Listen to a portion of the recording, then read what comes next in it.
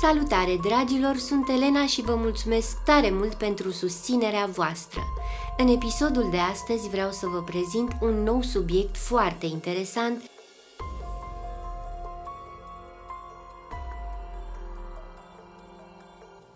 Se predă cabala în Antarctica?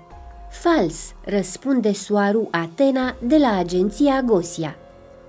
De la început vă spun să nu luați ca adevăr 100% toate informațiile care urmează, mai ales cu vizita cabaliștilor în Antarctica, informații pe care nu le-a confirmat nimeni, în schimb mai multe surse au afirmat cele ce vă voi prezenta în acest material.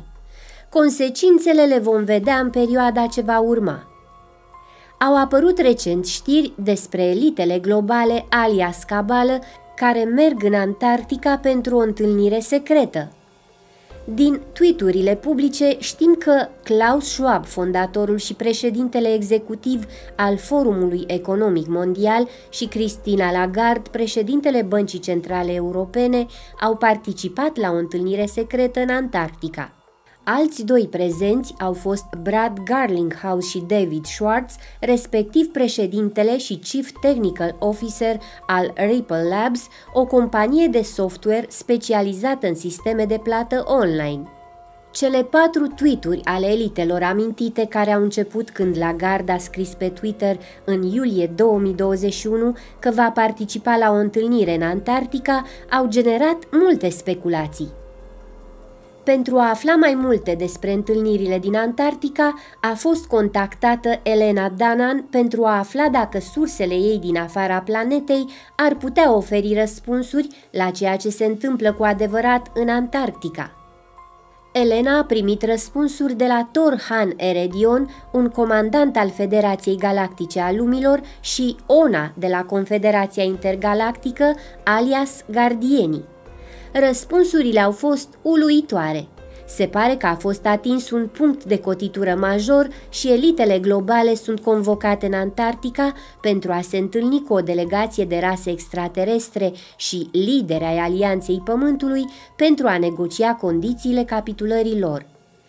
Antarctica a fost aleasă pentru întâlnire deoarece conține un portal care poate transporta elitele globale într-o lume îndepărtată, într-o altă galaxie, unde vor fi bine aprovizionate, dar alungate pentru totdeauna.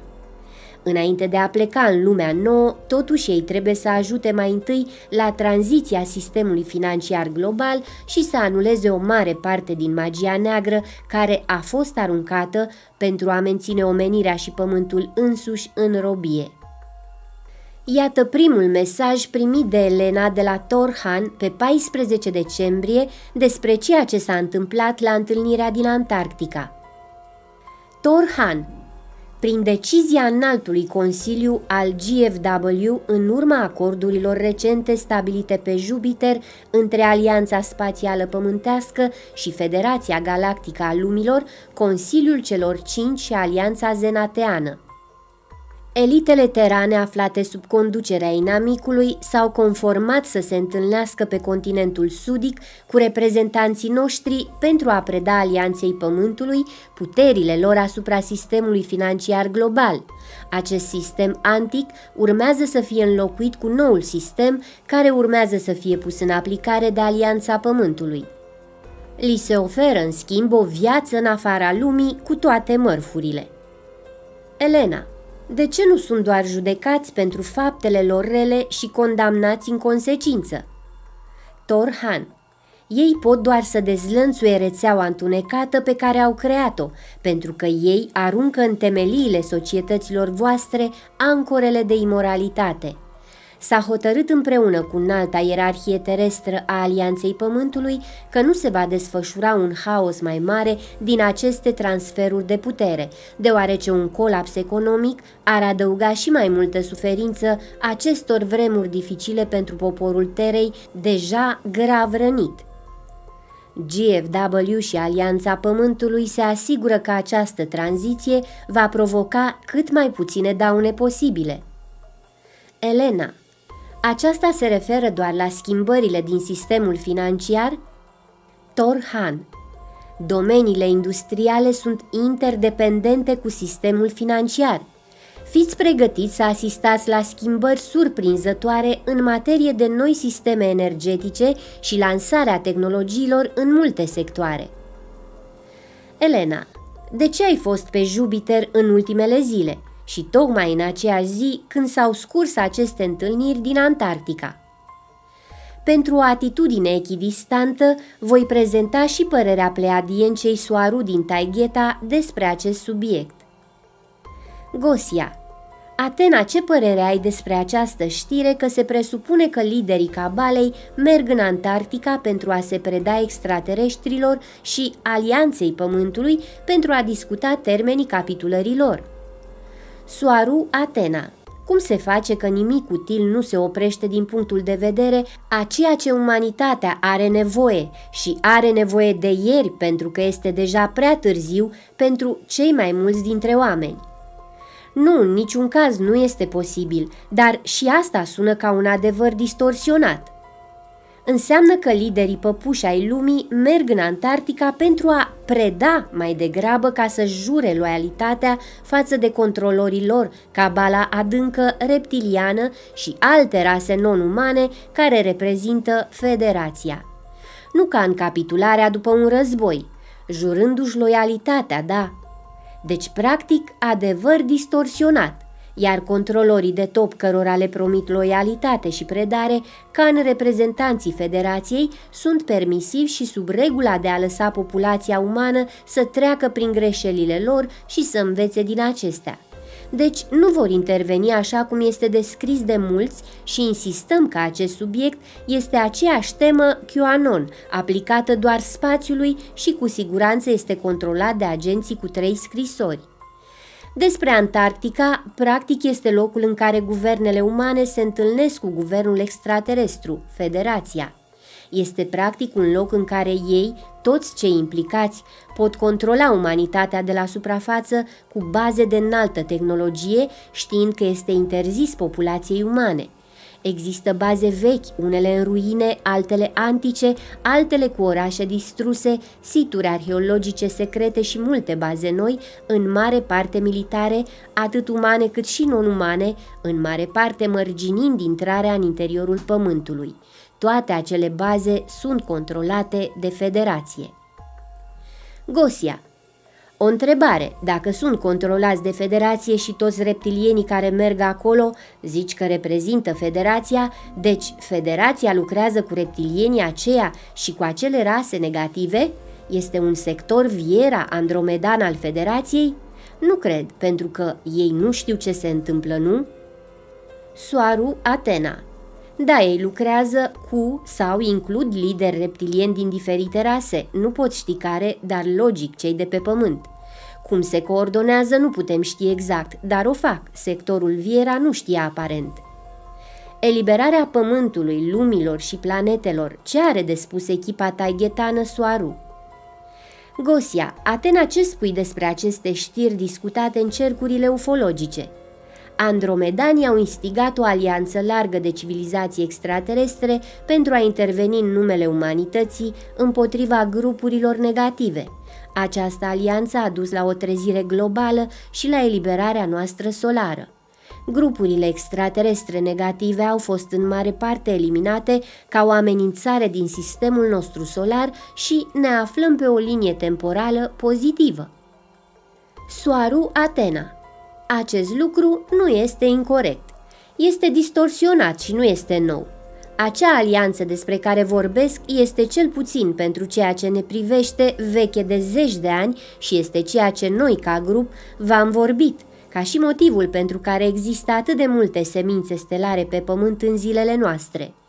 Știind că majoritatea se încarnează acolo, folosind tehnologia Immersion Pod, dar nu numai, tot atâtea step downs și walk-in și suflete născute în sursă se încarnează acolo cu agenda de a trezi umanitatea și de a o elibera de opresiune.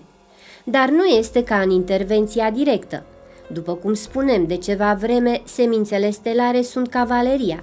Încă se face din interior, dar faptul că rasele stelare s-au așezat să discute cum să ajute Pământul, da, s-a întâmplat, dar nu este nou.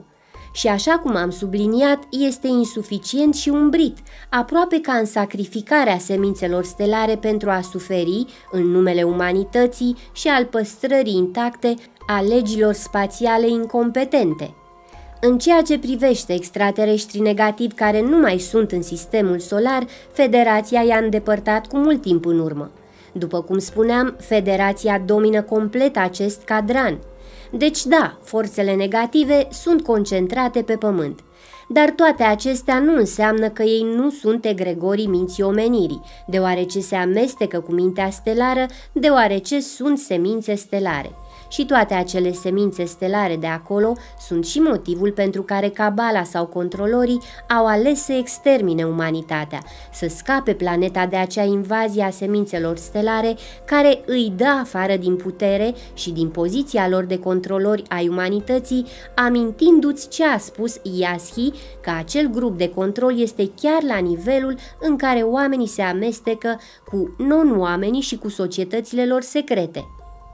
Pe scurt, pentru că nu cunosc specificul despre ceea ce mă întrebați și ținând cont doar de acea propoziție pe care mi-ați trimis-o, este adevărat, este corect, dar sunt știri vechi și pare adaptate pentru a se încadra în ceea ce acei oameni care promovează acele idei vor să se potrivească în situația actuală.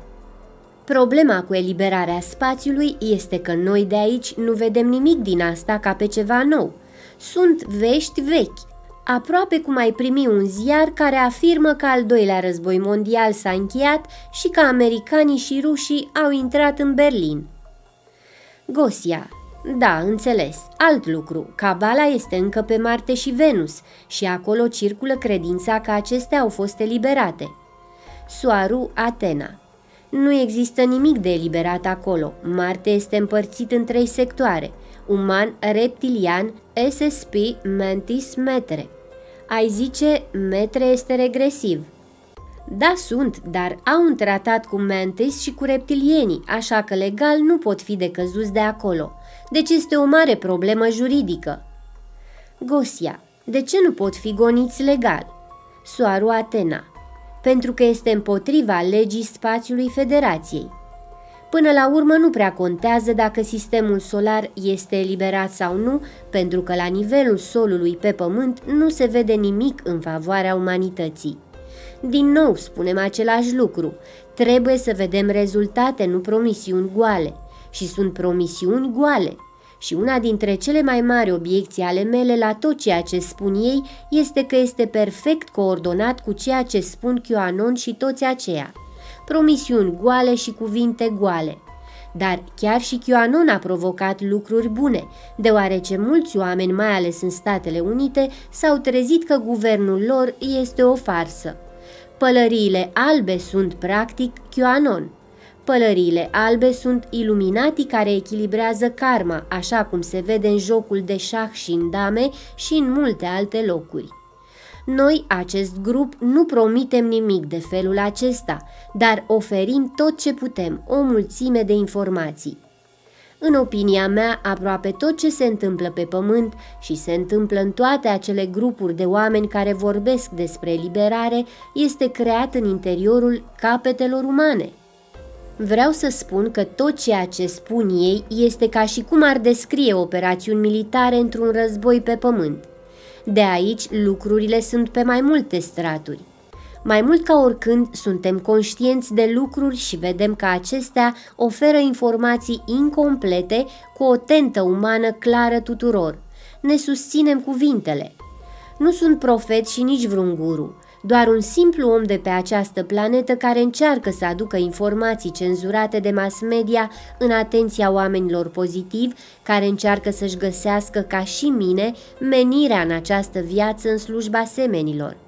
Toate astea pentru ca împreună să putem trece de acest moment profund negativ din istoria acestei planete, dar care este necesar pentru trezirea cât mai multor ființe umane – numai împreună și gândind în același fel pozitiv, constructiv, non-egoist, putem trece cu planeta mama noastră în noua eră.